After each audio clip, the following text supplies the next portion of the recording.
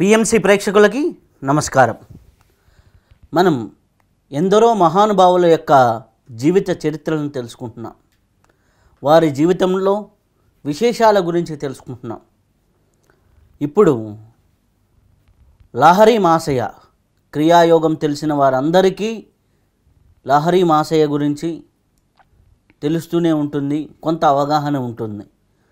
ఈ లహరి మాసయ్య గారు ఎక్కడ జన్మించారు? అసలుకి ఎలా క్రియాయోగం నేర్చుకున్నారు? ఎలా మహావతార్ బాబాజీని కలిశారు? వారు ఈ క్రియాయోగాన్ని పరంపరని ఎలా మొదలుపెట్టారు అలాగే వీరికి కృష్ణ భగవానుడికి ఉన్నటువంటి సంబంధం ఏమిటి? ఇలా ఎన్నో క్వశ్చన్స్ ఎన్నో అద్భుతమైన విశేషాలు వారి జీవితంలో ఉన్నాయి. వారి జీవితాన్ని అనేక భాగాలుగా ఇప్పుడు అందించే ప్రయత్నం చేస్తున్నాం. ఆల్రెడీ మనం గురు సాంగత్యంలో శ్రీమతి విద్యారాణి గారు శ్యామాచరణ సనాతన మిషన్ వారిచే గురువుగా నియమించి క్రియాయోగ దీక్షలు ఇస్తూ హైదరాబాదులో వారు ఉన్నారు వారు ద్వారా ఎంతోమంది క్రియాయోగాన్ని నేర్చుకొని చాలా సక్సెస్ఫుల్గా ముందుకు వెళ్తున్నారు చాలామందికి ఒరిజినల్ క్రియాయోగం అంటే నిజమైన క్రియాయోగం ఏమిటి అనేది అంటే లాహరి మాసయ పరంపరలో ఏదైతే ఉందో మహావతార్ బాబాజీ నుంచి ఏదైతే అందిందో అదే నిజమైనటువంటి క్రియాయోగం. అది వీరు శ్యామాచరణ సనాతన మిషన్ వారు అందిస్తూ ఉన్నారు. శ్రీమతి విద్యారాణి గారు ఇప్పుడు మన ముందు ఉన్నారు. అమ్మ నమస్కారం అమ్మ. నమస్కారం అండి. మనం అనుకున్నాం లాహరి మహాశయ జీవితం. మహా అద్భుతమైన జీవితం. అవునండి. ఎందుకంటే తెలుగు ప్రేక్షకులకి వారి యొక్క పురాణ పురుషం ఉన్న ప్రాణశక్తి మీద ఒక గ్రంథం ఉన్న అలాగే నాలుగైదు పుస్తకాలు ఉన్నాయి కానీ అవి అంత అవగాహనగా అవపోసన పట్టిన వారు చాలా తక్కువ మంది ఉన్నారు. అంటే లక్షకు ఒకరు ఉన్నారని చెప్పొచ్చు. క్రియాయోగం తెలిసిన వాళ్ళకు కూడా వారి గురించి పెద్దగా అవగాహన లేదు. అసలుకి లాహరి మహాశయ ఎవరు? ఆయన ప్రస్థానం ఎక్కడి నుంచి ప్రారంభమైంది? ఆయన పరిచయము మనం ఇచ్చే దానికన్నా ముందు ఆయన తనను తాను ఎలా పరిచయం చేసుకున్నారో అది ముందు తెలుసుకుందాం. ఆయన సాధన చేసే రోజుల్లోనే చాలా కొద్ది కాలంలోనే ఒక నాలుగు సంవత్సరాలు అయ్యేసరికి ఆయన డైరీలో రాసుకున్నారు. అది ఆయన జీవితకాలంలో ఎవరు చూడలేదు కానీ తర్వాత ఒక డెబ్భై ఎనభై ఏళ్ళ తర్వాత బయటపడ్డాయి. అందులో ఆయన తన నిజ పరిచయాన్ని తానే ఇచ్చుకున్నారు. మనం గ్రహించలేము వారి పరిచయాన్ని. అదేమిటంటే ఆయన నేనే ఆత్మసూర్యుడను. నేనే మహాపురుషుడిని నేనే చతుర్భుజ నారాయణుడిని నేనే మహదేవుణ్ణి. నేనే పరమాత్మ. నేను తప్పించి మరి ఏదీ లేదు. నా నుంచే సకల సృష్టి వచ్చింది. నేను సర్వవ్యాపిని అవినాశిని అని ఈ విధంగా తనను గురించి తను పరిచయ వాక్యాలు ఆయనే రాసుకున్నారు. అంటే అహం బ్రహ్మాస్మి తత్వం. ఇంకా పైన తత్వం. మనం అనుకునేది ఆత్మస్థితి ఈయన పరమాత్మ. ఇది ఏమిటంటే మనకి భగవద్గీతలో కృష్ణుడు చెప్తాడు కదా ధర్మ సంస్థాపనార్థాయ సంభవామి యుగే యుగే అని. అంటే ప్రతి యుగ సంధిలో కూడా సాక్షాత్తు పరమాత్మ ఒక హ్యూమన్ బాడీ తీసుకుని అంటే మానవ శరీరం తీసుకుని తప్పనిసరిగా ఈ భూమి మీదకి వస్తారు. అది మన భారతదేశంలోనే వస్తూ ఉంటారు. ఈ గడ్డకి అంత విలువ ఉంది. ఎందుకు వస్తారు? అవసరం ఏమిటి అంటే వాళ్ళ జన్మ మన జన్మ ఒక రకం కాదు. మనమంతా కర్మగత జ జీవులం. ఆయనకి పుట్టుకకి కారణం కర్మలు ఉండవు ఎందుకు వస్తారు అంటే మరి ఈ ప్రాణ సాధన సత్యయుగంలో అందరూ చేసేవారు. వారికి ఐహిక విషయాల మీద ప్రాపంచిక సుఖాల మీద పెద్ద మనసు ఉండేది కాదు. కానీ యుగం యుగం మారుతూ వస్తూ ఉంటే కొంత ప్రాపంచిక విషయాల మీద భోగలాలసం మీద శ్రద్ధ ఎక్కువ పెరిగిపోయి ఆత్మ సాధన తగ్గిపోతూ వస్తుంది. కనుక న్యాచురల్గానే ఆ ప్రాణకర్మ ఏదైతే అంటే ఏది సాధన చేసి అయితే మనము మోక్షాన్ని పొందొచ్చో ఆ విద్య కొంచెం కొంచెం తరుగుతూ వస్తుంది. కలియుగంలో అయితే దాదాపు లుప్తమైపోతుంది. అందుకని వాళ్ళు ప్రతి యుగ సంధిలో కూడాను ఒక హ్యూమన్ బాడీ తీసుకుని ఆ, ప్రాణకర్మని ప్రాణ సాధనని మళ్ళీ కొంచెం పుష్ చేస్తారు. అంటే పునరుద్ధరిస్తారు. అందుకోసం వచ్చే జన్మలు వాళ్ళవి. అలాగే రాముడిలాగా వచ్చారు. త్రేతాయుగము ద్వాపరయుగం సంధి సమయంలో. మళ్ళీ శ్రీకృష్ణ భగవానుడు ద్వాపరము కలియుగం యొక్క సంధి సమయంలో వచ్చారు. అలాగే లాహిరి మహాశయులు లాహిరి మహాశయులు అంటే అసలు పేరు శ్యామాచరణ లాహిరి. ఆయనకి యోగిరాజ్ అనేది వాళ్ళ మామగారు ఇచ్చిన బిరుదు. యోగిరాజ శ్యామాచరణ లాహిరి గారిగా కలియుగము అయిపోయి సత్యయుగం వచ్చే ఆ సంధి సమయంలో ఆయన వచ్చారు. ఆయన డైరీలో రాసుకుంది ఏమిటంటే ఆయన శరీరాన్ని వదిలిపెట్టి మహాసమాధి చెందిన తర్వాత రెండు ఘడియల తర్వాత సత్యయుగ ప్రవేశం జరుగుతుందని. అలా స యుగ సంధి సమయంలో సాక్షాత్తు పరమాత్మే సంభవామి యుగే యుగే అన్న మాట నిజం చేస్తూ వస్తారు. ఇది ఆయన పరిచయం.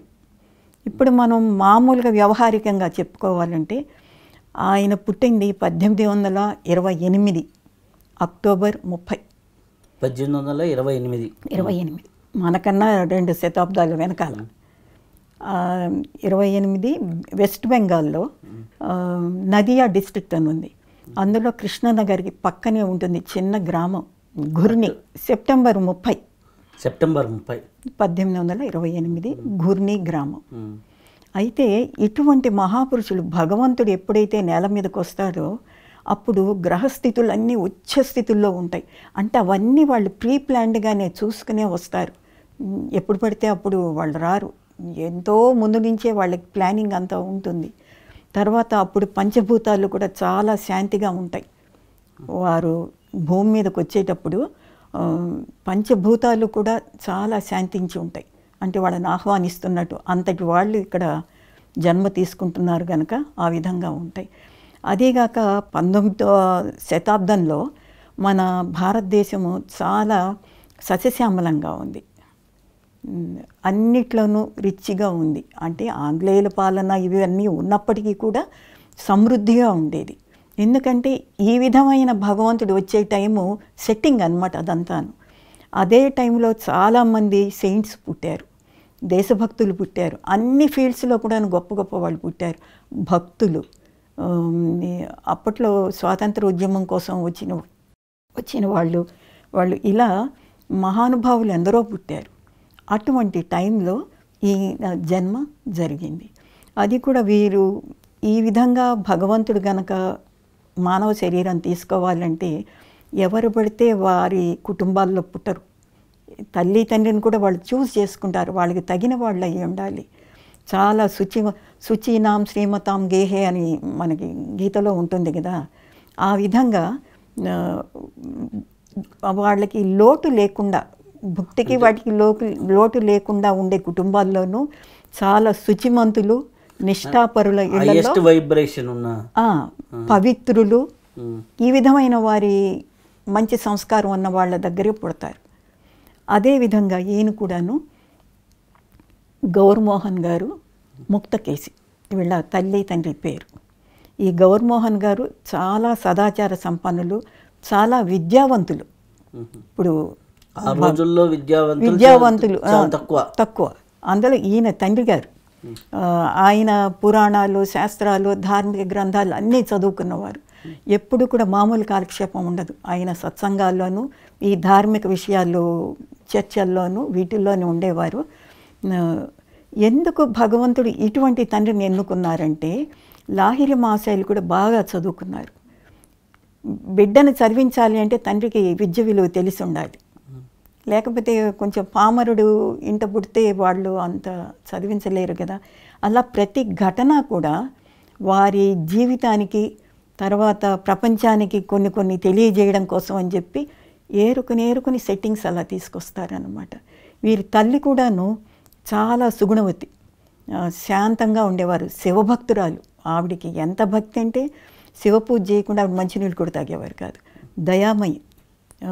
దానాలు చేస్తూ ఉండేవారు. ఈ విధమైన తల్లి తండ్రులని చూసుకుని ఆయన రావడం జరిగింది. అయితే అమ్మా వీరి జీవితంలో కొంతమంది మహాత్ములు జన్మించినప్పుడు వారి చిన్న వయసులోనే కొన్ని అద్భుతాలు జరుగుతాయి కదా. అట్లా వీరి జీవితంలో ఏమన్నా అద్భుతాలు అట్లాంటివి ఏమన్నా ఉన్నాయా? అద్భుతాలని కాదు కానీ ఈయన నేచర్లోనే తేడా కనిపించేది. ఈయన చూసిన ఆ ఊళ్ళో వాళ్ళందరూ కూడా మామూలు మానవ శిశువు కాదు. అని అయితే వాళ్ళు డిసైడ్ చేసేసుకున్నారు. ఎందుకు అంటే చిన్నపిల్లలు ఎక్కువ చపలంగా ఉంటారు. వాళ్ళకి అసలు స్థిరత్వమే ఉండదు. పిల్లలంటేనే చంచలం. ఈయనలో అంత చంచలత్వం ఉండేది కాదు. చిన్నప్పటి నుంచి కూడా ఏదో అంతర్లోకంలో ఉన్నట్టుగా అంటే అంతర్ముఖంగా ఉన్నట్టుగా ఉండేవి. ఈయన హావభావాలు కానీ ముద్రలు వేసుకుని కూర్చోవడం కానీ ఇటువంటివన్నీ కూడా ఎక్కువగా అల్లరి ఇలా ఉండేది కాదు. తల్లి ధ్యానం చేసుకునేటప్పుడు పూజ చేసుకునేటప్పుడు తను కూడా కళ్ళు మూసుకుని కూర్చొని ఏ మాత్రం డిస్టర్బ్ చేయకుండా కూర్చునేవారు. చిన్నతనం నుంచి కూడా. ఆవిడ వీళ్ళ ఇల్లు ఎలా ఉంటుందంటే ఒక నది ఉంటుంది. నది ఒడ్డునే ఉంటుంది. కనుక ఆవిడ ఇంటి పనులు చేసుకునేటప్పుడు బిడ్డని ఇసుకలో కూర్చోబెట్టి పనులు చేసుకునేవారు. అటువంటి టైంలో మామూలుగా పిల్లలైతే అటు తిరిగి ఇటు తిరిగి చపలంగా ఉంటారు. ఈయన అలా కాదు. ఆ దుమ్ము అదంతా అంటు అంటే ఉంటుంది కానీ కళ్ళు మూసుకొని కూర్చుని అంతర్ముఖంగా ఉండేవారు. చిన్నతనమే ఐదేళ్ళ లోపునే ఇవన్నీ కూడాను. అప్పుడు ఆ ముద్రలు అవన్నీ చూసి ప్రతి వాళ్ళు అనుకునేవారు ఇతను మాత్రం మామూలు బిడ్డల్లాగా లేడు అని. ఇది కాక దీనికి రుజువుగా ఒక చిన్న సంఘటన చెప్తా. ఒకరోజు వాళ్ళమ్మ ఇలాగే అంటే ముక్తకేశీదేవి గారు ఈ బిడ్డని మా పక్కన కూర్చోబెట్టుకుని వాళ్ళ ఇంటి ప్రహరీని ఆనుకుని బయట చిన్న శివాలయం ఉండేది. అది గౌర్మోహన్ గారు కట్టించింది. అందులోనే ఈవిడ ధ్యానం అది చేసుకుంటూ ఉండేవారు. అలా చేసుకుంటూ ఉన్నప్పుడు బిడ్డను కూర్చోబెట్టుకుని ఆవిడ కళ్ళు మూసుకొని ప్రేయర్స్లో ఉన్నారు. ఉన్నప్పుడు ఆ గుడి ఎదురుగుండా ఒక సాధువు సన్యాసి అనుకోండి ఆజాను ఆజానుబాహువు చాలా దృఢకాయుడు ఒక సన్యాసి. నిలబడి అమ్మాయి అని పిలుస్తారు. ఈవిడ ఒక్కసారి మాట వినిపించేసరికి ఉలిక్కిపడి భయపడతారు. భయపడి గబాలన బిడ్డను ఎత్తుకుని నుంచుండిపోతారు. అప్పుడు ఆయన భయపడకమ్మా నేను సన్యాసిని నా నుంచి ఎవరు భయపడాల్సిన అవసరం లేదు. నేను నీ బిడ్డను ఆశీర్వదించడానికి వచ్చాను ఇతను మామూలు మానవ శిశువు కాడు. ఇది రుజువు. ఆయన మాటల నుంచి వచ్చింది. మానవ శిశుడు కాదు శిశువు కాదు. నా యోగ బలంతో మీ ఇంట పుట్టేలాగా నేనే ఈ అబ్బాయిని పంపించాను. ఎందుకు ఇతని జన్మ వచ్చిందంటే ఇన్ని క్లేశాల మధ్య కష్టాల మధ్య గృహస్థులు కొట్టుమిట్టాడుతూ ఉంటారు. శ్లేష్మంలో పడ్డ ఈగల్లాగా. వాళ్ళకి ముక్తి మార్గం తెలియదు వాళ్ళకి దారి లేదు. అంటే లేదు అంటే వారికి తెలియదు కనుక అటువంటి వాళ్ళకి రహస్యంగా అంటే గోప్యంగా ఇంట్లోనే ఉండి సాధన చేసుకునే ఇలాంటి ఆత్మకర్మని ప్రాణ సాధనని యోగ విద్యని ఇతను అందరికీ వెల్లడించడం కోసమని ఇతని జన్మ వచ్చింది. ఇతన్ని నేను ఎప్పుడు కూడా నీడలాగా వెన్నంటే ఉంటాను. నా కనుసన్నల్లోనే ఇతని జీవితం అంతా కూడా గడుస్తుంది. ఇతను తన అంతర్జ్యోతిని అందరికీ పంచుతాడు అని చెప్పి ఆశీర్వదించి వెళ్ళిపోతారు. ఇది మనకి లిటరల్గా జరిగిన ఒక ప్రూఫ్ దొరికిన ప్రూఫ్. ఇంతకీ ఆ సాధువు ఎవరంటే బాబాజీ. అక్కడ పేరు చెప్పరు. మనకు అర్థమైపోతుంది తర్వాత. ఎందుకంటే నా యోగ బలంతోనే పంపించాను ఇవన్నీ అంటే తర్వాత ఈయన ఆయన కలుసుకున్నప్పుడు ఈ ఈ ఇన్సిడెంట్ కొంత మనకి క్లూ దొరుకుతుందన్నమాట. అయితే లహరి మాసయ్య వారు ఎంతవరకు చదువుకున్నారు? ఐదేళ్ళు ఉన్నప్పుడే తల్లిపోయారండి. అప్పటి వరకు గుర్నీలోనే ఉన్నారు. ఈ ముక్తకేశీదేవి గారు గౌరమోహన్ గారికి రెండవ భార్య. అంటే మొదటి భార్య ఒకసారి వాళ్ళు తీర్థయాత్రలో ఉన్నప్పుడు పోతారు. అందుకని కొన్నాళ్ళు ఆగిన తర్వాత ముక్తకేశి గారిని చేసుకుంటారు. ఈవిడ కూడా ఈ బిడ్డకి ఐదేళ్ళు వచ్చేసి వచ్చినప్పటికీ మరణిస్తారు. దాంతో ఆయనకు ఒక రకమైన విరక్తి కలుగుతుంది. అదీగాక వీళ్ళ ఇల్లు నది ఒడ్డున ఉందని చెప్పాను కదా ఒకసారి దానికి పెద్ద ఫ్లడ్స్ వరదలు వస్తాయి. వచ్చి వీళ్ళ ఇల్లు ఇంట్లో చ- చాలా భాగం కొట్టుకుపోతుంది. ఇవన్నీ చూసి ఆయనకి కొంత విరక్తి భావం కలుగుతుంది. సహజంగానే ఆయన ధర్మపరాయణులు. కనుక ఇంకా కొంచెం వైరాగ్యం వచ్చి ఇక్కడ కాదు స్థలం మార్చాలి అని చెప్పి కాశీతో ఆయనకి ఇదివరకే పరిచయం ఉంది. అందుకని మొత్తం ఫ్యామిలీతో సహా కుటుంబం కుటుంబంతో సహా కాశీలో స్థిర నివాసం ఏర్పరచుకున్నారు. అందుకని పేరుకి ఈయన గుర్నీలో పుట్టిన లాహిర్ జీవితం అంతా కాశీవాసే. అక్కడ ఈయనకి ఐదేళ్ళు వచ్చేసరికి మరి ఇక చదువు సంఖ్యలు చెప్పించాలనే కదా. మిగతా వాళ్ళకు ఉండకపోవచ్చు కానీ తండ్రి విద్యావంతుడైనప్పుడు అయినప్పుడు ఆయనకి విద్య యొక్క విలువ బాగా తెలుసు. అందులోనూ ఆ రోజుల్లో ఇంగ్లీష్ విద్యలు చెప్పించేవారు కాదు. అదేమిటో మైలబడిపోయినట్టు ఆ చదువు చదివించడం తక్కువ అనుకునేవారు. అటువంటిది ఆ చాదస్తానికి ఈయన పోలేదు. ఎందుకంటే కాశీలో ఉండేసరికి ఇక్కడ గుర్ని దగ్గర ఉన్న కరిగిపోవడం మొదలు పెడతాయి సో ఇన్ ఫ్యూచరు ఈ బిడ్డ పెరిగి పెద్దవాడైనప్పుడు ఉద్యోగం చేసుకుంటేనే జీవన భృతి బాగుంటుంది. అని ఊహించి ఒకటి కాలానుగుణంగా వెళ్ళాలని ఒకటి ఈ- ఈయనని ఇంగ్లీష్ మీడియం స్కూల్లో చేర్పిస్తారు. కాశీలో. కాశీలో English medium. Jayanarayana English medium school అని ఉంటుంది. అందులో చేర్పించారు. అక్కడ ఈయన పన్నెండేళ్ళు వచ్చేదాకా అదే స్కూల్లో చదువుకున్నారు. ఆ నెక్స్ట్ అక్కడి నుంచి తండ్రి గారు మార్చేసి గవర్నమెంట్ సాంస్క్రిట్ కాలేజీ ఉంది. అందులో కూడా ఇంగ్లీష్ మీడియం స్కూల్ ఉంది. తర్వాత తర్వాత అది కాలేజీకి కూడా మారిపోయింది. అందులో ఈయన పన్నెండో ఏట చేర్పిస్తారు. అందులోనే ఈయన స్కూలింగ్ అయిపోయింది. తర్వాత కాలేజీగా మారింది కదా. కాలేజీ చదువు కూడా అందులోనే చదువుకున్నారు. అంటే ఫలానా డిగ్రీ అంటూ మనకి ఆధారాలు ఏమీ దొరకలేదు కానీ ఇరవై ఏళ్ళు వచ్చే వరకు కాలేజీలో చదివారంటే ఆల్మోస్ట్ డిగ్రీ అయిపోయి ఉండే టైం అది. అప్పుడు మెట్రికులేషన్ అనేవారు ఇప్పుడు ఎస్ఎస్సి అలా మారినా కూడాను మొత్తం మీద అదే కాలం పడుతుంది. ఈయన కేవలం ఈ మామూలు ఇంగ్లీష్ విద్యలు ఇవే కాకుండా సంస్కృతం నేర్చుకున్నారు. బెంగాలీ ఈయన మాతృభాష అది ఎలాగో వస్తుంది. ఇదిగాక హిందీ ఉర్దూ నేర్చుకున్నారు. ఫార్సీ భాష నేర్చుకున్నారు. ఎందుకు ఇన్ని భాషలు ఆయన నేర్చుకోవాల్సి వచ్చింది? అవసరం ఏమిటి అంటే అంత డివైన్ ప్లాన్ అన్నమాట. ఇన్ ఫ్యూచర్ ఈయన దగ్గరికి చాలామంది శిష్యులు అన్ని ప్రాంతాల నుంచి వస్తారు. కమ్యూనికేషన్కి మంచి ర్యాపో ఉండడం కోసం అని చెప్పి ఎక్కువగా ఈ హిందీ ఈ ఉర్దూ ఇవన్నీ కూడా యూజ్ అవుతాయి. ఎందుకంటే వీరి శిష్యుల్లో ముస్లిమ్స్ అందరూ కూడా ఉండేవారు. ఈ- అప్పటికి ఇంకా ఇంత ప్లాను జీవితం ఎలా పెడుతుందనే తెలియకపోయినా ఇంత విద్యని ఆయన గడించారు.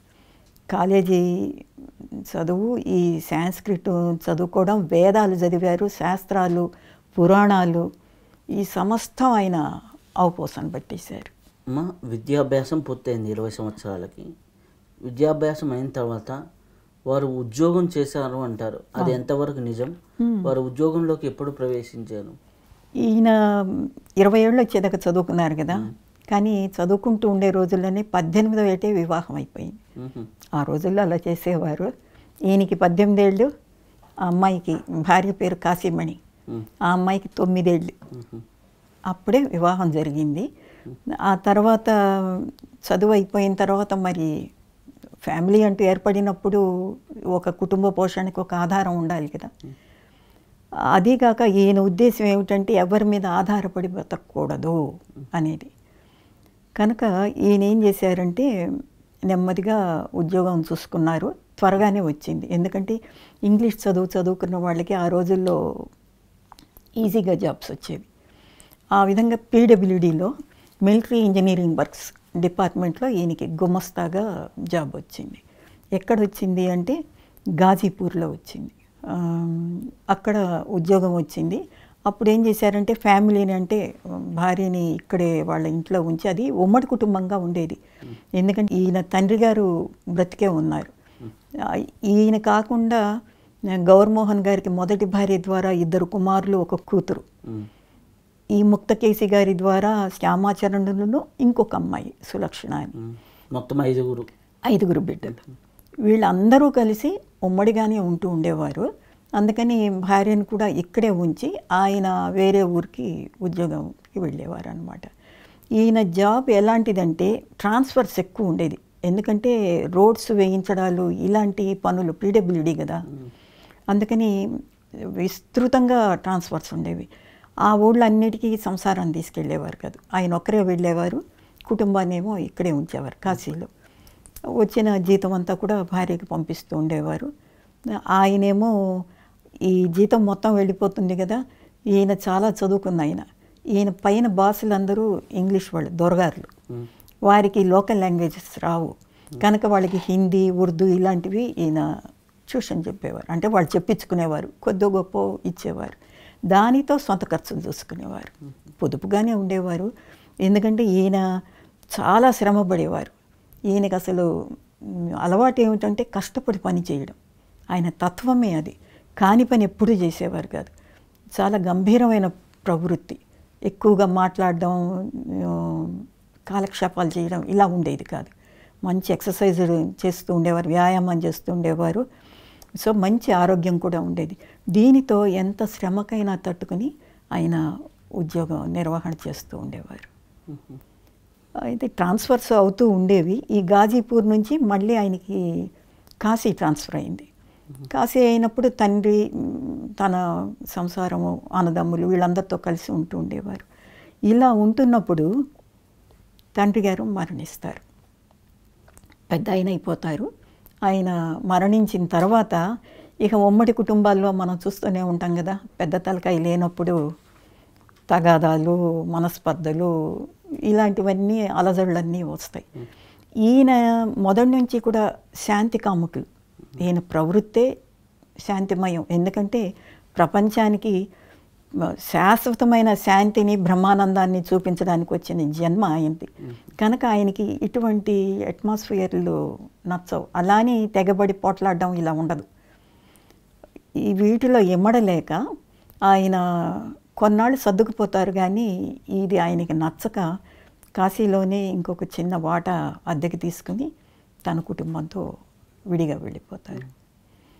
అక్కడే తర్వాత ఈయన మ్యారేజ్ అయిన తర్వాత పదహారు పదిహేడు ఏళ్ళకి బిడ్డలు పుడతారు. ఎందుకంటే మొదట ఆవిడ చిన్నపిల్ల తొమ్మిదేళ్ళే కదా. కొంచెం లేటుగా కానీ బిడ్డలు వాళ్ళందరూ వస్తారు. ఈ కుటుంబ పోషణ చేస్తుంటారు. ఈయనకి జీతం చాలా తక్కువగా ఉండేది మొదట్లో. పోష కుటుంబానికి అంత సరిపోయేది కాదు.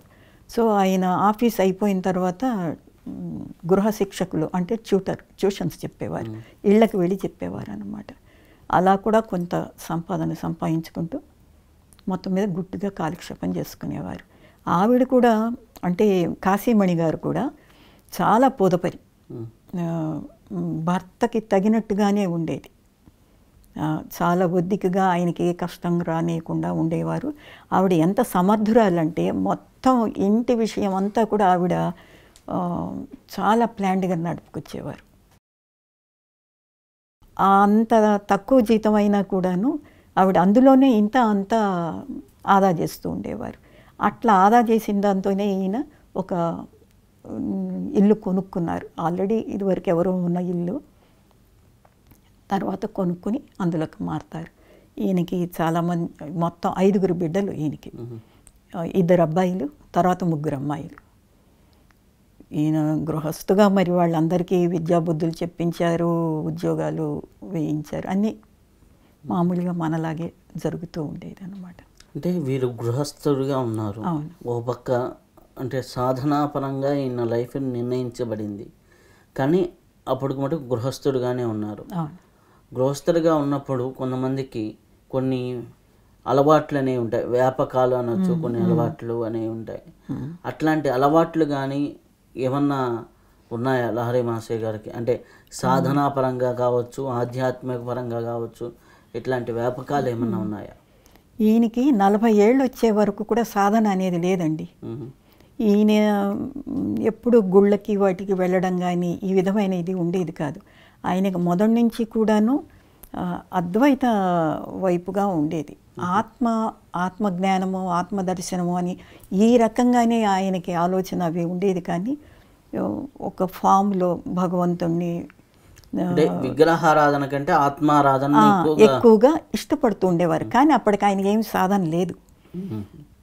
మామూలుగా ఆఫీసు ఇల్లు ఇది కాక ఆయనకి ఇష్టమైన విషయం ఏమిటంటే చదువు విద్య. విద్య విలువ ఆయనకి బాగా తెలుసు. కనుక అందరూ చదువుకోవాలి.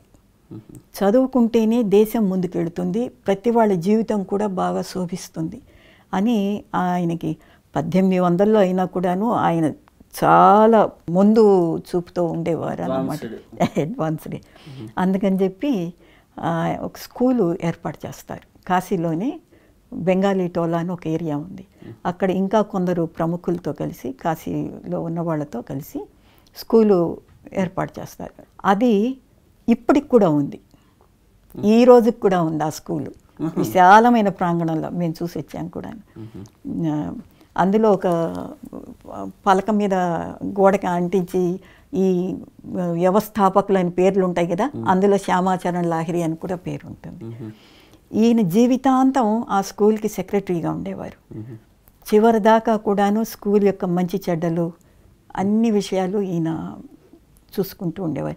ఈయన ఏ పని చేసినా కూడాను పూర్తి పక్కాగా ఉండేది. కాశీలో ఏ ఏరియా అమ్మా అది? బెంగాలీ టోలా అంటారండి.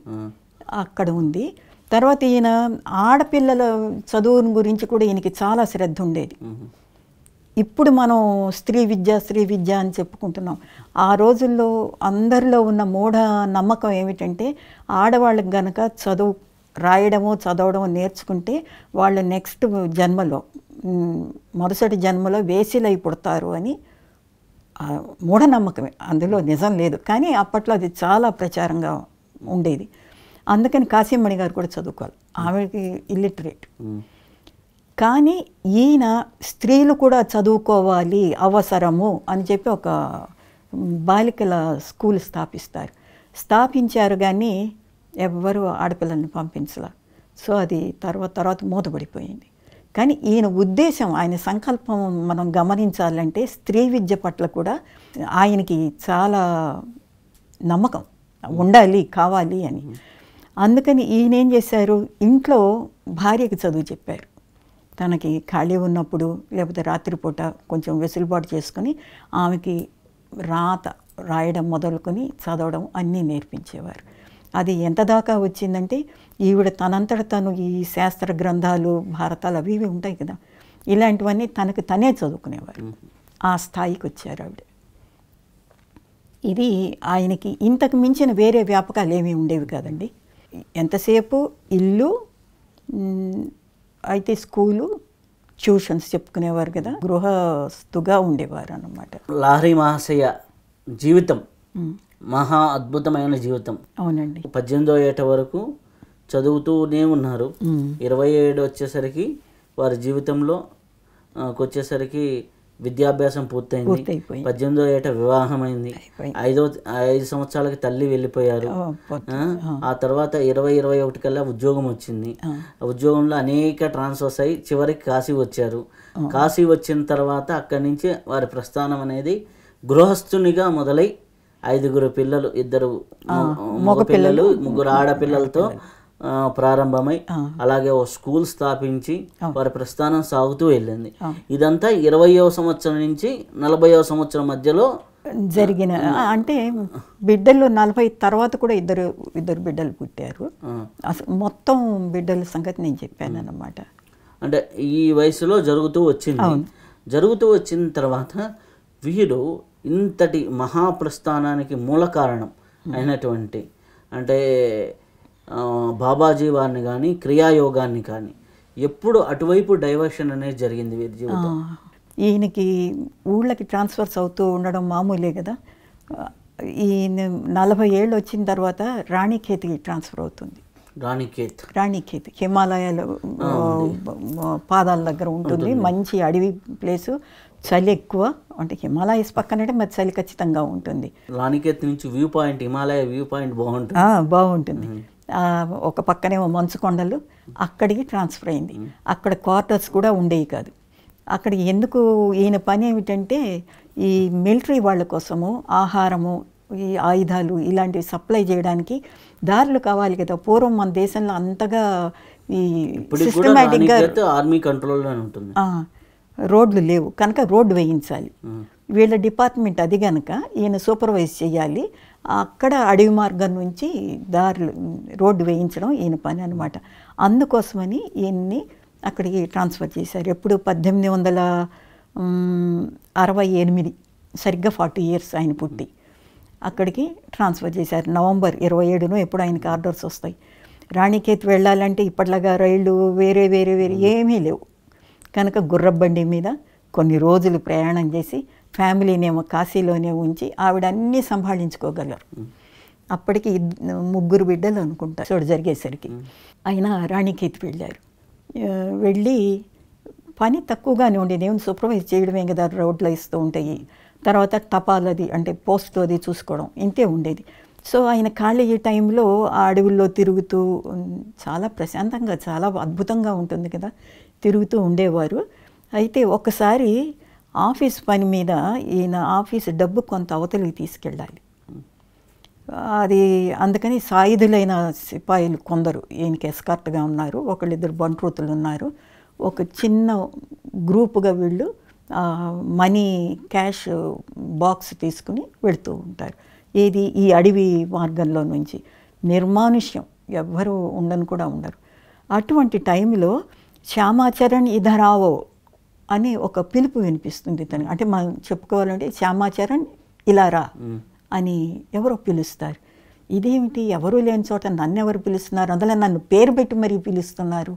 ఎవరని ఎట్టి దిక్కులు చూస్తే తర్వాత పైకి చూస్తే ఆ కొండ పైన ఒక సాధువు ఉండి ఆయన పిలుస్తున్నాడు అనమాట ఈయన చూసి ఆగేసరికి ఆయన గబగబ గబగబ దిగి వస్తారు దిగి ఈయన ముందుకు వచ్చేసరికి మొట్టమొదట రియాక్షన్ ఏమిటంటే శ్యామాచరణులు గారు అనుకుంటారు ఇతను ఏదో దొంగల నాయకుడు అయి ఉంటాడు. ఈ చుట్టుపక్కల ఇంకా ఎక్కడో దాక్కుని ఉంటారు. ఎందుకంటే ఈయన డబ్బుతో వెళుతున్నారు. అని అనుకున్నారు. అనుకునేసరికి ఆయన గ్రహించి భయపడకు శ్యామాచరణ్ నువ్వు ఈ దారిలో వస్తావని నాకు తెలుసు.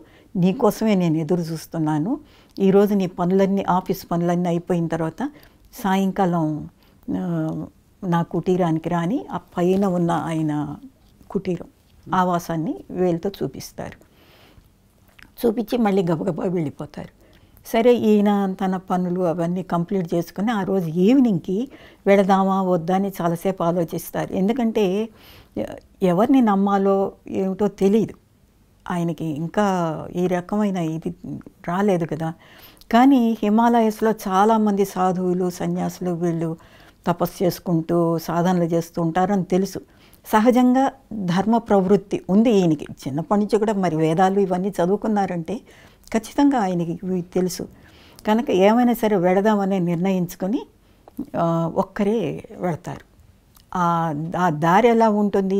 స్టీప్గా కొండ ఉంటే ఆ కొండ ఎడ్జ్ మీద నుంచి రోడ్డు వెళుతూ ఉంటుంది. పక్కన లోయ అవతలేమో గగాస నది ఉంటుంది. అడవిలో నుంచి వెళ్ళాలి. సరే రొప్పుకుంటూ రొప్పుకుంటూ అలాగే. ఎందుకంటే ఈయనకి ఎప్పుడు పర్వతాలు ఎక్కిన ఇవి అలవాట్లేదు కదా.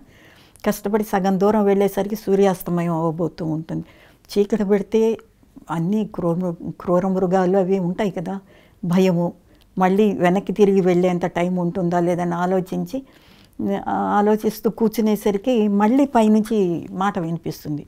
శ్యామాచరణ్ ఇటురా అని చూస్తే ఆయన పిలుస్తూ ఉన్నారు. ఇహ నిర్ణయం చేసుకొని మిగతా దారి కూడా ఎక్కి సాయంకాలం సూర్యాస్తమయం అయిపోతుంది. ఆ టైంకి పైకి వెళ్తారు. వెళితే ఆయన ఎంతో ఆదరంగా ఎంతో ప్రేమగా ఆయన్ని రిసీవ్ చేసుకుంటారు. ఈ ఎలా ఉంటుందంటే ఆయన చూపు ఎప్పుడో తప్పిపోయిన కొడుకు గనక పెరిగి పెద్దవాడైపోయి తన దగ్గరకు వస్తే ఎలా ఫీల్ అవుతాడు తండ్రి? ఆ విధమైన తృప్తి ఆనందం ఆయన కళ్ళల్లో కనిపిస్తూ ఉంటుంది. అప్పుడు ఈయన వెళ్ళి నమస్కారం చేసుకుని చేసిన తర్వాత శ్యామాచరణ్ నువ్వు నన్ను గుర్తుపట్టలేదా? ఇక్కడికి ఎప్పుడు వచ్చినట్టు నీకు అనిపించడం లేదా? అంటే అబ్బాయి నేను ఎప్పుడు ఇక్కడికి రాలేదండి మీరు ఎవరో కూడా నాకు తెలియదు ఇదే మొదటిసారి నేను ఇక్కడికి రావడం అంటారు. అప్పుడు ఈ నా గుహలో నుంచి ఒక కమ్మండలము ఒక పులితోలు తీసుకొచ్చి ఇవి కూడా నీకేమీ గుర్తులేదా? అంటారు. అబ్బాయి నాకు తెలియదండి ఎవరివి ఇవి? అని అడుగుతారు. అప్పుడు ఆ సన్యాసి చెప్తారనమాట శ్యామాచరణ్ ఇదంతా మహామాయ ఆడించే నాటకం. ఆవిడే నీ స్మృతుల మీద తెర కప్పేసి ఉంచింది మాయను కప్పి ఉంచింది అని దగ్గరకు వచ్చి ఈయన్ని స్పృశిస్తారు. ఆయన టచ్తో స్పర్శతో ఈయనకి ఒంట్లో ఒక షాక్ లాగా కరెంట్ వేవ్స్ వెళ్ళినట్టుగా అనిపిస్తుంది. అవి వెంటనే ఆయనకి తన గత జన్మంతా గుర్తొస్తుంది. ఏమిటంటే ఇదే గుహలో ఇదే ప్లేస్లో ఆయన క్రితం జన్మలో కూర్చుని సాధన చేసి ఆయన గడిపిన చోటది. ఈ ఎదురుగుండా ఉన్న ఆయన ఆ జన్మలో తన గురువే. ఆయన్ని శ్యామాచరణులు గారు బాబాజీ అని అప్పుడు అప్పుడు పిలుస్తూ ఉండేవారు. ఆ విషయం అంతా ఇప్పుడు గుర్తుకొస్తుంది. ఆ పులితోలో కమండలం అన్నీ శ్యామాచరణులవే అయితే అప్పుడు జ్ఞాపకం వచ్చేసరికి ఆయన కాళ్ళ మీద పడి గురువు గారికి ప్రణామాలు చేసుకుంటారు అనమాట కళ్ళ మహావతార్ బాబాజీ గారు. బాబాజీ అని ఇప్పుడిప్పుడు మా అందరం బాబాజీ బాబాజీ అనుకుంటున్నాం. ఈ పేరు ఎవరు పెట్టారంటే ఆయనకి పేరు లేదు ఆయనకి జన్మ లేదు. శ్యామాచరణులకి దీక్షనిచ్చి ఇవ్వడం కోసం అని చెప్పి వచ్చిన అలౌకిక శరీర రూపం అది. దీనికి కూడా ఇంకొంచెం డెప్త్గా చెప్పుకోవాలంటే మన కథలో మరి టైము పోతుందని. అనుకోకపోతే చెప్పండి చెప్పండి సాక్షాత్తు పరమాత్మ మనకిలో కూడాను సహస్రారంలో జీరో పర్సెంట్ వైబ్రేషన్తో ఉంటుంది. దాని రేంజ్ ఎంతవరకు అంటే కూటస్థం వరకు. ఇదే బాహ్యంగా కూడా ఉంటుంది. ఇది సృష్టిలో కూడా. అది ఈ పరమాత్మకి ఒక లైట్ లేదు. అసలు ఏ విధమైన వ్యక్తీకరణే లేదు. మహాశూన్యం అది. అది కూటస్థానికి వచ్చేసరికి తనని తను ఒక ప్రకాశంగా వెల్లడి చేసుకుంటుంది. అంటే వ్యక్తం అవుతుంది ఆ ప్రకాశమే బాబాజీ. అంటే పరమాత్మ యొక్క ఈ స్పందన జరగబోయే ముందు ఎడ్జిలో ఉన్న ప్రమ పరమాత్మ యొక్క ప్రకాశం. అది బాబాజీ గారు. బాబాజీ గారు అన్ని ఇప్పుడు మనం అంటున్నాం దానికి శరీరమే లేదు కదా. దానికి ఈ పరమాత్మ ఎప్పుడైతే హ్యూమన్ బాడీలోకి వచ్చి మనలాగా జీవుడిగా రావాల్సి జన్మ తీసుకుంటారో ఆయన తనకి తనే అంటే తన ప్రకాశానికి తనే ఆర్డర్ చేసుకుంటారు. నేను పూర్తిగా కిందకి వెళ్ళిపోతున్నాను. వెళ్ళానంటే మాయ సహజం అది కమ్మేస్తుంది గుర్తుండదు. కనుక నాకు ఇన్ని సంవత్సరాలు వచ్చినప్పుడు అంటే వాళ్ళు డెస్టిన్డ్ టైం అవన్నీ పెట్టుకుంటారు కదా నాకు నలభై ఏళ్ళు వచ్చినప్పుడు నాకు నా దగ్గరకు వచ్చి నాకు క్రియ ఇచ్చి గురువు తప్పనిసరిగా కావాలి. ఆ గురు రూపంగా మీరు వచ్చి నాకు గైడ్ చేయాలి. అని ఈ ప్రథమ ప్రకాశం కన్నా హయ్యర్ రేంజ్ పరమాత్మ. కానీ కిందకు వచ్చేటప్పుడు దానికి ఆర్డర్ చేసుకుని ఈయన పూర్తిగా కిందకు వచ్చేస్తారు. క్రితం జన్మలో కూడా అలాగే వచ్చారు. కాకపోతే అప్పుడు సాధు సన్యాసుల్లో క్రియాయోగ వ్యాప్తికి వచ్చారు ఆయన. అందుకని రాణికేతులో అక్కడ గుహలో ఉండడము అక్కడ ఉండడం. తర్వాత ఆయన గృహస్థుగా వచ్చారు. ఎందుకంటే నైంటీ నైన్ పర్సెంట్ ఇంకా ఇంకా ఎక్కువ మంది అందరూ గృహస్థులే సృష్టిలో. కనుక వీరిలో కూడా ఆత్మసాధన ఇవ్వడం కోసం అని చెప్పి ఈ జన్మ తీసుకున్నారు. ఇలా తీసుకున్నప్పుడల్లా ఆయనకు ఒక గురువు కావాలి.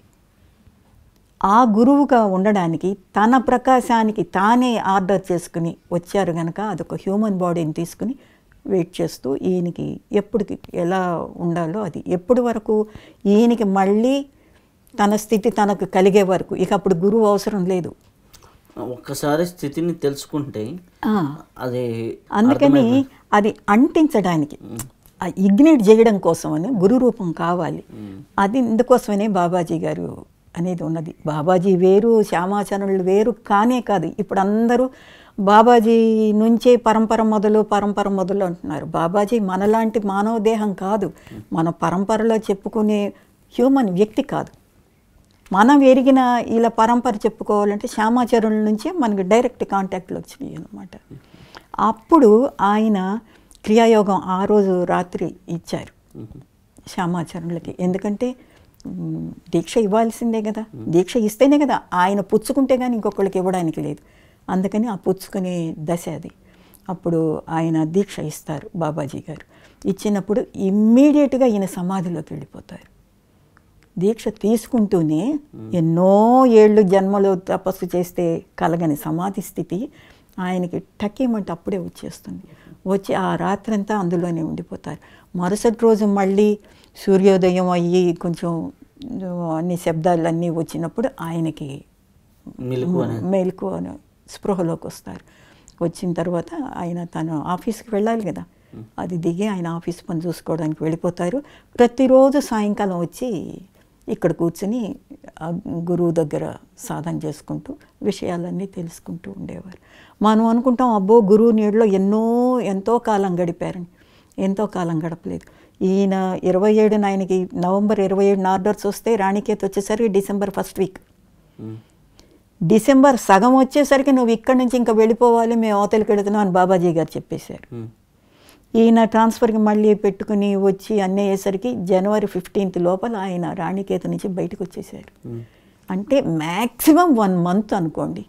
గురువు దగ్గర ఈయనతోటి సంపర్కం ఆ విధంగా బాబాజీ గారితో ఈయనకి. రాణికేత్ నుంచి ఇప్పటికీ బాబాబాయ్ బాబాజీ కేవ్స్ అనే పేరుతో అది ఉంది ఆ, ఉంది కానీ అసలు విషయం ఏమిటంటే శ్యామాచరణులు గారు మళ్ళీ ఎప్పుడూ ఆ గుహలకి వెళ్ళలేదు.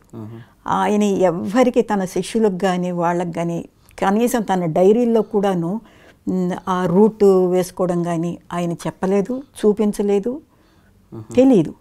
అటువంటిది ఇప్పుడు ఈ ఏ ఎలా ఏ సాక్ష్యం ఆధారంతో ఫలానా కేవ్సే అని చెప్తున్నారు?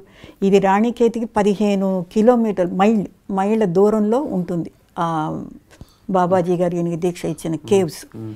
హిమాలయస్లో కోకొల్లలుగా ఉన్నాయి కేవ్స్. ఎందులో ఇచ్చారు? ప్రతి కేవ్లో కూడా ఎవరో ఒకళ్ళు మహర్షులు ఎంతో కొంత సాధన చేసుకునే ఉంటారు. ఫలానా కేవ్ అని ఎవరు చెప్పారు? దానికి సాక్ష్యం ఏమిటి? స్వయంగా లాహిర్ మహసల్ ఏనాడు ఎవరికి చూపించలేదు చెప్పలేదు.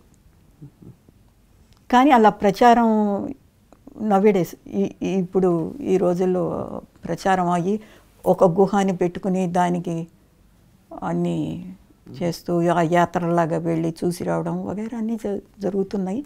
కానీ అందులో నిజం పాలు ఎంత ఉందో మనం న్యూట్రల్గా చెప్పుకోవాలంటే మనకు తెలియదు. అది అవునో కాదో కూడా మనకు తెలియదు. రాణికేత్లో పైన గృహల్లో ఏదో ఒక గృహలో ఎక్కడో ఒక చోట. ఎక్కడో చోట ద్రోణగిరి పర్వతం ఆ పర్వతం పేరు కూడా. ద్రోణగిరి పర్వతం ప్రాంతంలో ఇచ్చారు. ఇచ్చారు. కానీ ఆ ద్రోణగిరి ప్రాంతంలోని ఇప్పుడు ఒక కేవ్ని బాబాజీ కేవ్ కింద ప్రచారం ప్రచారం జరుగుతోంది. అవును. కానీ అది ఎలా వచ్చింది అనేది కానీ అదే కాదా అనేది దానికి రుజువు కానీ ఆధారం కానీ లేదు. అసలు ఎవరు చెప్పాలి? అయితే బాబాజీ చెప్పాలి లేకపోతే శ్యామాచరణలు చెప్పాలి. వీళ్ళే కదా ఇచ్చింది పుచ్చుకున్నది. ఇద్దరూ చెప్పలేదు. మరి ఇప్పుడు ఎలా చెప్పబడుతోందో తెలియదు అంటే ఇప్పుడమ్మ క్రియాయోగము సిక్స్ సెవెన్ లెవెల్స్ అంటారు కదా. ఈ సిక్స్ సెవెన్ లెవెల్స్ని క్రియాయోగాన్ని ఆ ఒకటిన్నర నెలలోనే నేర్చుకున్నా. ఖచ్చితంగా. ఈయన స్థితి ఏమిటండి? ఈయన గత జన్మలోనే ఈయనకి అన్నీ అయిపోయింది దీక్షతోనే సమాధిలోకి వెళ్ళిపోయిన వారికి ఒక్కొక్క లెవెల్లో నేర్చుకోవడానికి మనలాంటి హ్యూమన్ కాదు ఆయన. చివరికి ఒక పదిహేను రోజులు అయ్యేసరికి బాబాజీ చెప్తారు శ్యామాచరణ్ ఇక్కడ జన సంచారం నెమ్మది నెమ్మదిగా మొదలవుతోంది. సాధువులకి ఇది పనికిరాదు. సో మేము ఈ గుహ వదిలేసి ఇంకో చోటికి వెళ్ళిపోదామని అనుకుంటున్నాం. నువ్వు కూడా ఇక్కడ కాదు. ఇంకా నువ్వు కింద మైదానాల్లోకి వెళ్ళిపోయి నీకు చాలా పని ఉంది తర్వాత తర్వాత. నువ్వు ట్రాన్స్ఫర్కి అప్లై చేసుకో. రాణికేతన్ నిన్ను ఒక పర్పస్ మీద నేనే రప్పించానన్నారు ఆయన. అసలు నువ్వు వచ్చిన నీ ప్లేస్లో ఇంకొక ఉద్యోగి రావాల్సి ఉంది కానీ నా ఇచ్ఛాశక్తితో దాన్ని తనకు కావాల్సినట్టుగా మార్చి శ్యామాచరణలో వచ్చేలాగా ఈయన పేరు వచ్చేలాగా చేశారు. ఆ ఉద్దేశం నెరవేరిపోయింది. ఇంకా ఇక్కడ నీ అవసరం లేదు. నువ్వు నెమ్మదిగా కిందకి వెళ్ళిపోవాలి వేరే దీనికి వెళ్ళిపోవాల్సిందే అని చెప్పి ట్రాన్స్ఫర్కి అప్లై చేయమంటే గురువాక్యం కొద్దీ ఈయన అప్లై చేస్తారు. వెంటనే శాంక్షన్ అయిపోతుంది. రిలీవింగ్ ఆర్డర్స్ వస్తాయి. అన్నీ కూడా జనవరి పదిహేను లోపునే. ఈ లోపున శ్యామాచరణులకి తదుపరి క్రియలు అంటే మీరు అన్నారే దశలోని అవి అన్నీ చెప్పేశారు. సమస్తమైన క్రియను గురించిన సమస్తమైన విషయాలు గురువు ఏమేమైతే శిష్యుడికి ఇవ్వాలో అవన్నీ ఇచ్చేశారు. ఈయన వాటి అన్నిటినీ కూడా ఆకలింపు చేసుకున్నారు. ఈయన స్థాయి అది. ఆ తర్వాత వచ్చేసే ముందే ఆ గుహ దగ్గర కొందరు కూర్చుని ఉన్న వాళ్ళని వాళ్ళని లోపలికి రమ్మని చెప్పి శ్యామాచరణ్ వీళ్ళకి నువ్వు క్రియాయోగ దీక్ష ఇవ్వు అంటారు. ఇదేమిటి? ఇంతటి గురువులు మీరుండగా నేను ఇవ్వడం ఏమిటి? అంటారు. అంటే నాకు ఎవరితోనూ సంబంధ బాంధవ్యాలు లేవు. నీతోనే అందరికీ అన్ని లావాదేవీలు సంబంధాలు ఉన్నాయి. కనుక నీ కోసమే వీళ్ళని ఆపి ఉంచాను నేను. ఇప్పుడు నువ్వు ఇవ్వాలి అంటే ఈయన ఇస్తారు. అంటే దీంట్లో రెండు రకాలైన విషయాలు ఉంటాయి. కొంచెం డీప్గా వెళ్ళవలసి వస్తుంది. ఒకటేమో ఈయన ఇక ఇన్ ఫ్యూచర్ ఈయన అందరికీ దీక్షలు ఇవ్వాలి. కనుక ఇచ్చేది ఎలాగా అనేది ఒకటి శిక్షణ ప్రాక్టికల్గా గురు సమక్షంలోనే ప్రాక్టికల్ ఇంకా అనేది ఈయనతో ఇప్పించేసేసరికి ఈయనకి తెలి అన్ని అవగాహన అవుతుంది. ప్రాక్టికల్ నాలెడ్జ్ అది. ఇంకొక విషయం ఏమిటంటే బాబాజీ అన్న మాట ఏమిటి? నాకు వీళ్ళ ఎవరితో కూడాను ఎటువంటి లావాదేవీలు లేవు అన్నారు. ఎందుకన్నారంటే బాబాజీ ఆయన ప్రథమ ప్రకాశం అనుకున్నాం కదా. ఆయన ఆ కాన్షియస్నెస్ అది సృష్టి అంతా కూడా ఉంటుంది. కానీ ఆ, ఈ సృష్టితో మెడిల్ చేసి వీళ్ళని ఆత్మసాధనకి తీసుకువెళ్ళి ఆ, ఆ విధంగా చేయడానికి ఆయన చెయ్యరు. ఆయన కేవలం సాక్షిభూతం. ఆయనే ధర్మం ఆయనే యముడు కూడా. అయితే పైనుంచి దిగి వచ్చిన పరమాత్మది ఈ సృష్టి అంతా లహిర్ బాబా ఏమన్నారు? నా నుంచే సృష్టి అంతా వచ్చిందన్నారు.